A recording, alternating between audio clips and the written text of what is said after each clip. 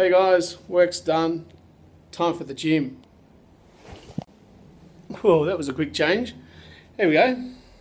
I think we're ready. Let's have a quick look. Stunning. Got to look good for the gym. That's the most important element, going to the gym. And also, you need a Facebook. You need to tell everyone. I just want to point out the importance of the mirror.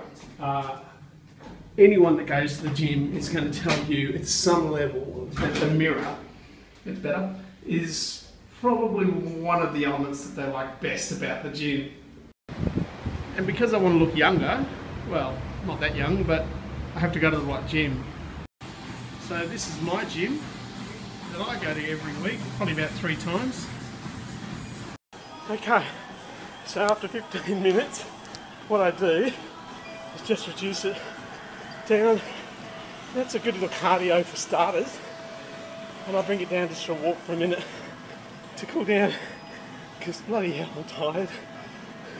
Okay, now that you're nice and sweaty and you've finished taking a leak, uh, the next best thing to do, apart from get out of the bathroom, is to um, refresh yourself.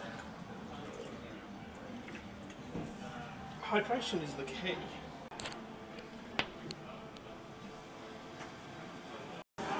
Because the next element is actually the bike.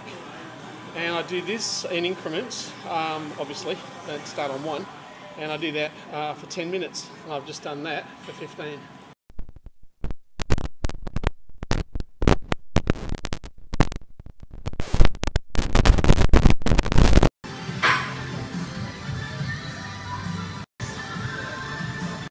And I obviously mean weights. And then we do some of this. And then we got it. Okay, and then it's time to hit the bench.